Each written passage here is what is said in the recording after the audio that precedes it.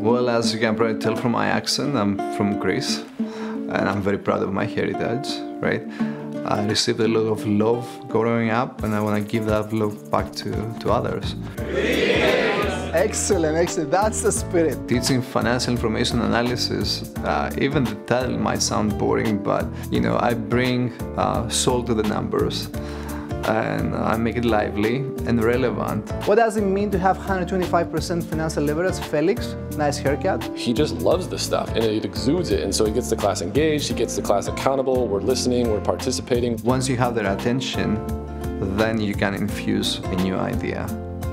In my class, it's really a combination of lectures and cases. So mostly cases that I actually create, real-time, real-life examples that are happening on a daily basis and I bring those to the class. Where after good ideas, our time is finite and there's more to life than FI. We're challenged more to think about the possibilities and the drivers and the reasons for things to happen than just the equation. I try to mix up specialties.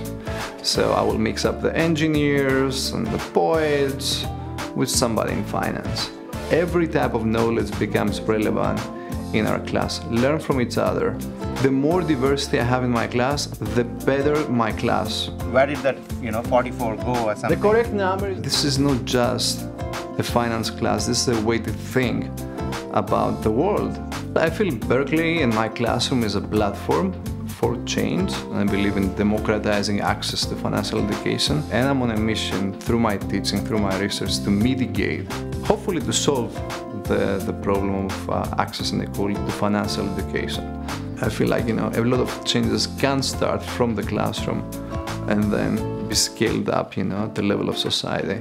Question the status quo, right? He asks us to criticize not only those ideas that he presents, but those that we have. Every year I learn.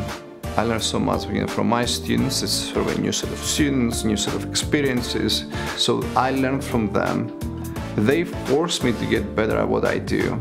And there's always open questions. The more I teach, the more I realize how much I don't know.